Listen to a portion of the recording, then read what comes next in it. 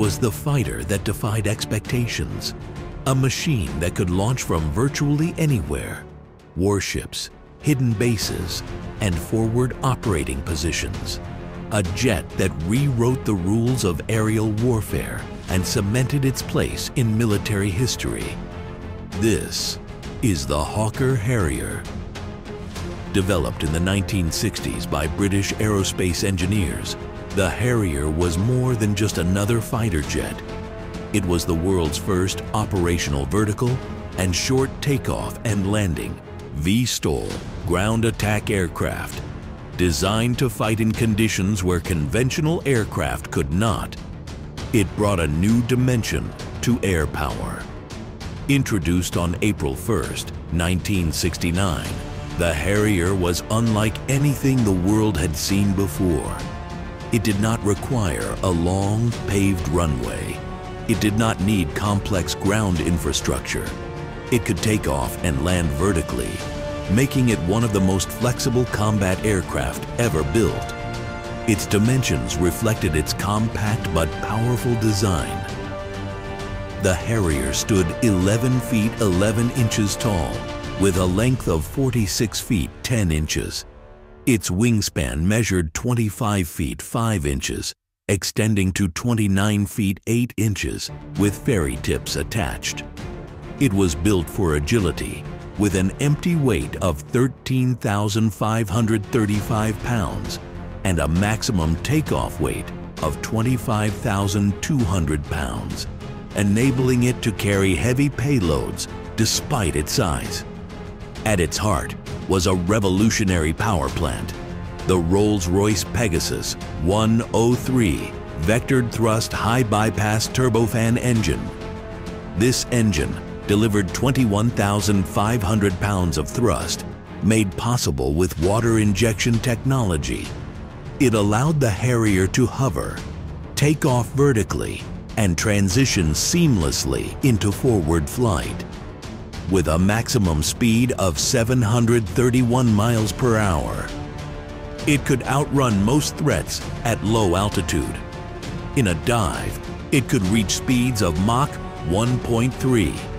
Its combat range varied depending on the mission profile, up to 360 nautical miles in a high-low-high attack configuration, carrying 4,400 pounds of ordnance and 200 nautical miles in a low-low attack run.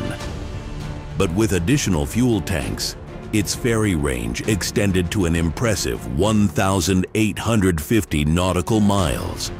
And with aerial refueling, it could push beyond 3,000 nautical miles. The Harrier had the endurance to stay in the fight. It could sustain a combat air patrol for 90 minutes at a distance of 100 nautical miles from base. With in-flight refueling, it could remain airborne for more than seven hours. And when speed was critical, it could climb to 40,000 feet in just two minutes and 23 seconds, even from a vertical takeoff. Its flight capabilities pushed the limits of physics. With a service ceiling of 51,200 feet, the Harrier could operate at extreme altitudes while engaging in dynamic maneuvers. Its structural integrity allowed it to endure forces up to plus 7.8 Gs and as low as negative 4.2 Gs, giving it unmatched survivability in high-stress dogfights. For 46 years, the Harrier dominated the battlefield. It saw action in conflicts across the world, proving its value in close air support, reconnaissance, and naval defense. From the Falklands War to Iraq and Afghanistan, it became a symbol of adaptability and strength. But even the greatest machines face limitations. The Harrier's innovative VTOL system, though groundbreaking, was mechanically complex. Maintenance was costly. As warfare evolved, so did the demand for more advanced aircraft the arrival of the Lockheed Martin F-35B Lightning II, equipped with stealth, superior avionics, and greater versatility signaled the end of the Harrier's era. Yet not all nations have retired the Harrier just yet. The Italian Navy, once an operator of 15 Harriers, will phase them out by 2025 in favor of the F-35B. The United States Marine Corps remains the largest operator, with 87 aircraft still in service. Their fleet includes 12 TAV-8B training models, 34 night attack variants, and 74 radar-equipped AV-8Bs. The USMC plans to keep the Harrier operational until 2029.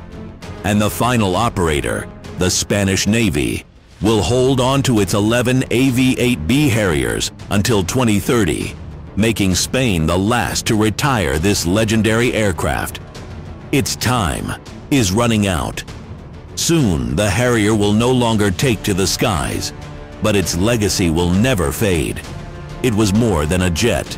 It was an engineering marvel, a fighter that changed the face of aerial combat, a machine that defied gravity and expectations alike. The Hawker Harrier, the jet that rewrote the rules of war and left an indelible mark on aviation history.